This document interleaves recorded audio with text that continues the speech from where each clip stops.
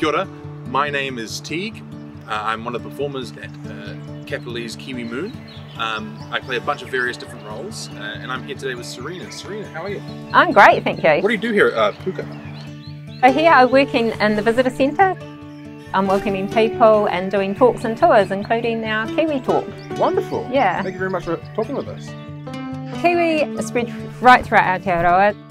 The burrows can be scattered right throughout the territory, so they don't just have one burrow, they have heaps of different burrows potentially, um, and they can be in all sorts of places. They can just be under some ferns, and um, they can be in the side of a bank.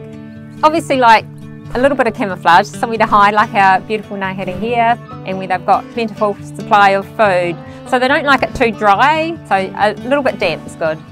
Sometimes they have a big mansion going on with little under the roots of a tree, um, little room here and a little tunnel to the next room um, and logs. So yeah, you never quite know where you're going to find them. Because they're nocturnal, they don't get to see a lot of the other birds in the Ngāhere. So I guess you'd say the ruru, the morepork could be their friend and maybe the weta, although they do tend to eat weta as well, so maybe not.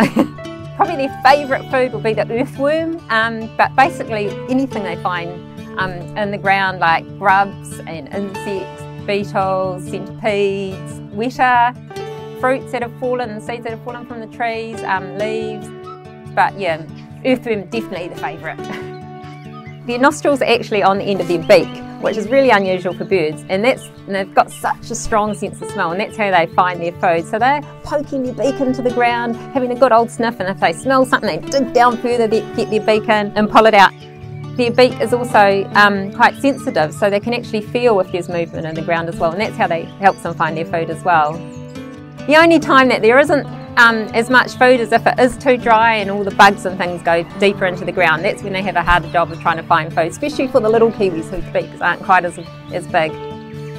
So kiwi are really vulnerable um, because they can't fly um, and they're nocturnal, they're out at night. So they're, they're predators such as stoats, um, which are generally active during the day. So um, especially the baby kiwi are really vulnerable to stoats and also ferrets, which are bigger than stoats they can easily kill an adult kiwi. Rats and possums potentially, and they predate the kiwi eggs. And feral cats is another one, so the wild cats. So they, the kiwi are really vulnerable to them as well. So in New Zealand we have about 68,000 kiwi. Um, it sounds like quite a lot, but actually it's not. So with the, the five different types of kiwi, um, the tokoeka and the North Island brown kiwi, there's over 20,000 of each of those.